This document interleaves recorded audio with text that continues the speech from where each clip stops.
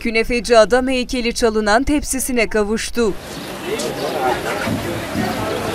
Hatay deyince akla ilk gelen lezzetlerden biridir künefe. Zira lezzetli şehir UNESCO tarafından dünyanın 26. gastronomi kenti ilan edildi. Hal böyle olunca tanıtım çalışmaları da başladı. Bu çalışmalar kapsamında Antakya ilçesinde ulus alanına bir künefeci adam heykeli dikilmişti. Tepsisi çalınan heykel yeniden tepsisine kavuştu. Künefe tepsisine kavuşan künefeci adam heykeli fotoğraf çektirmek isteyen vatandaşların uğrak yeri oldu.